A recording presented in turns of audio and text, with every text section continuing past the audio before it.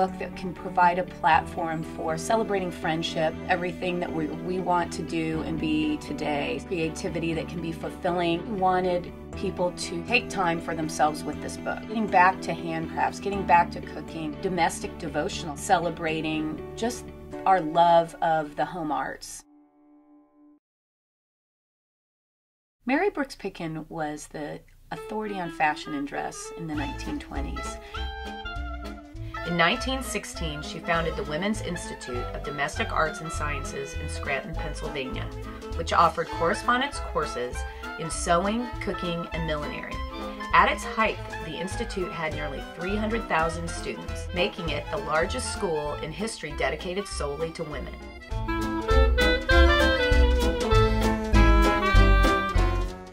Brooks Picken was all but forgotten as a public figure, and I wanted to keep her story alive.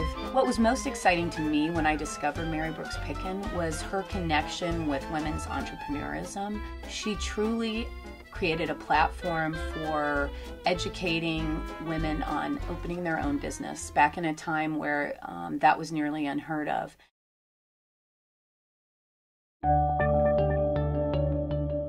The Vintage Notions book is organized month by month, and each month has patterns, sewing patterns, recipes, inspirational essays, um, even testimonials from the Institute members.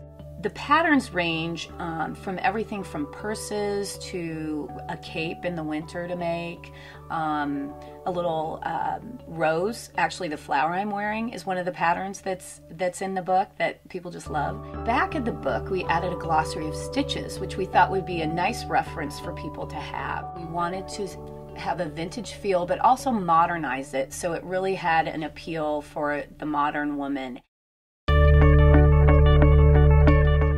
Once people have bought the book and had a time to digest some of it themselves, many people end up wanting to buy it for others in their family and share it with friends um, that maybe have that same connection and love for the, the home arts and creativity.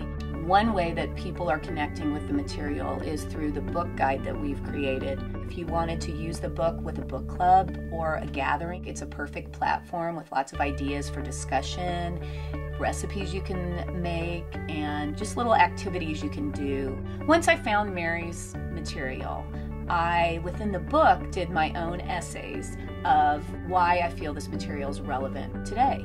And now I'm able to do that on my blog. I go through the material regularly and pull more of my favorite inspiration that Mary has provided, whether it be a editorial piece that talks about friendship or whether it be a great recipe or maybe it's a project to make there's just so much great material that i really have an infinite um, archive that i can then introduce to others.